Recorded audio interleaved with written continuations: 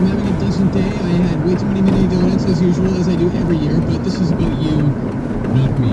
What would you like to request for the happy hour? I'd love to hear something by P. Diddy. And that would be?